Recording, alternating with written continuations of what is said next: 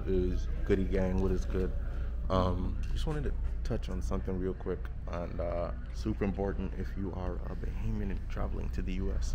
A lot of persons know this, but a lot of persons don't. And the reason why I know because I didn't know this until I picked up on it, right?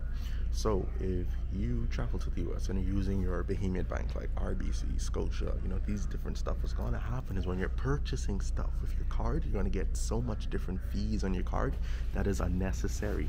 Now you may have a baller saying, "Man, those fees don't matter X, Y, and Z," but why do you have to pay? Why why do you want to pay the bank? You know, all those fees when you're already paying the money for holding your money, right? It's crazy. But um, listen to this, right? These are some things I want you to take into consideration when you're coming over. Make sure you bring your. I, I had my notes out for you all. I want you all to open up a bank account, right? Now, the easiest ones to do it with is um, Bank of America, Wells Fargo. Bank of America be the top one for a Bahamian, right? And the documents you need is a passport along with an NIB or driver's license, uh, a proof of address, and you just need an address where they can ship your stuff to, right? So if you're staying at an Airbnb, make sure you're staying there minimum 14 days. Minimum 14 days. And make sure you go to the bank on your first or your second day to make sure you get your card while you're there, right? If you're at a hotel, same thing 14 days, 14 days, because they're going to ship your card to you and it takes about 7 to 10 days. Then what you want to do is if you're staying at a hotel, make sure you let the front desk know you have a, a package coming to your room. That is super important super important you make sure you have that card coming to your room and um, you know when you get in a bank the things you want to say right? Because a lot of you may say oh i already know what i got to do. My boy did that x y and z. But listen i have a lot of friends and a lot of people well i have a lot of friends but a lot of people that went to the bank and tried to do the thing and say damn this bank would let me open it up wouldn't let me open because you're not saying the right thing to them. My boy tried to do it on his own three times right? When i gave him the script to say it's real simple. It doesn't take a lot of brains but um, when I gave him the script to say, he actually got it.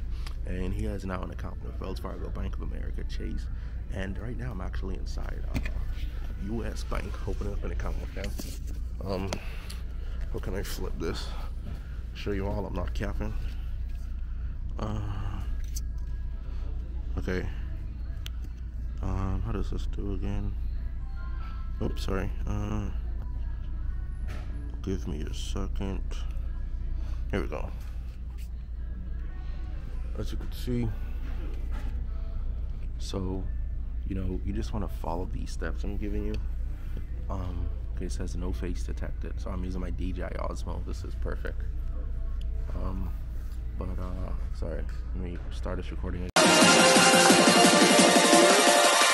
Check this.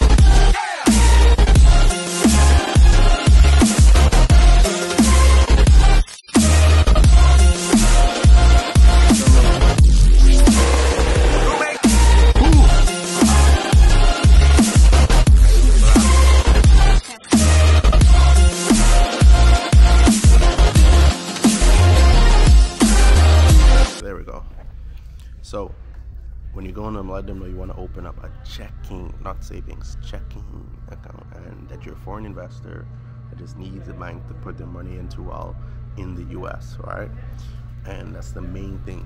Once you say that, you're good. Um, they ask you if you have an EIN, SSN, you know, give them your driver's license or NIB number. Super important. Super important that you do that. So I'm just trying to guide my camera over. Here we go. This is lit This is really lit. Now, um, a next major thing you want to do, right, is uh, make sure, sorry, make sure if you're using a friend address to get your card, that you're comfortable with this friend getting emails that your bank send you, right?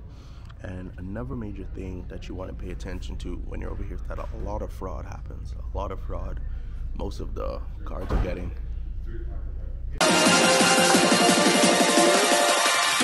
Check